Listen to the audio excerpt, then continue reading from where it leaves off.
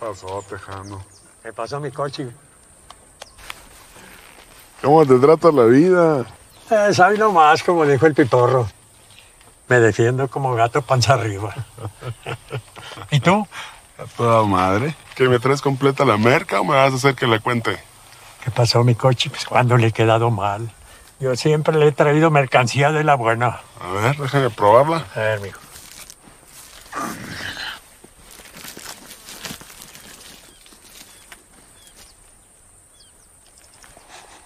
No, está buena. ¿Y la goma? Mire, mi querido Cochi, le voy a dar un buen consejo como amigo.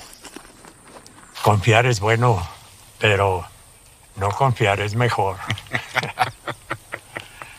Ah, pinche tejano, no cambias con los años. A ver, dele su dinero, mi bien. No, pues está bien. ¿Y A ver, mi cachorra, guárdeme ese dinero. ¡Teodulo! ¡Baja la mercancía! ¡Hurry up! Mi querido Cochi. Como siempre, buenos business con usted, mi tejano. Ahí nos seguimos viendo. Hasta luego. Vámonos, cachorra.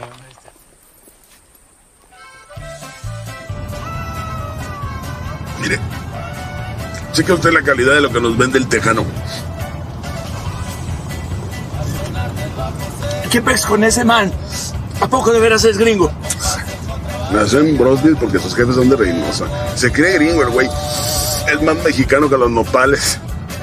¿Y a poco toda esa feria era para él? Eso sí, para que vea. Mire, el, el tejano es lo que se conoce en el medio como un coyote. Ese vato se pasa los meses en la sierra comprándoles a los campesinos sus cosechas de amapola y de mota y luego viene y se las vende al patrón 10 veces su precio. Me cae que los problemas del campo se resolverían de volada quitando en medio a los pinches intermediarios culeros.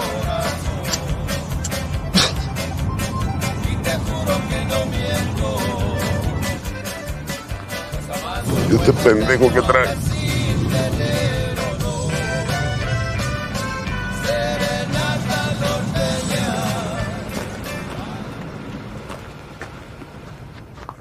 Buenas tardes, my friends. ¿Qué traes, Mendoza? ¿Por qué cierras el camino? Con la novedad, mi coche, que tuvimos un 318 en el kilómetro 20. Y la carretera está cerrada. Déjate de pendejadas 318 y órale, déjanos pasar, traemos prisa. De veras lo siento, mi coche. Se volteó un camión de línea y esta madre va a estar cerrada un par de horas. ¿Por qué no le llegan por la nopalera? Palera tu chingada madre, cabrón. Me cae que ya ni la chingan. Lo siento, mi coche. Órdenes son órdenes.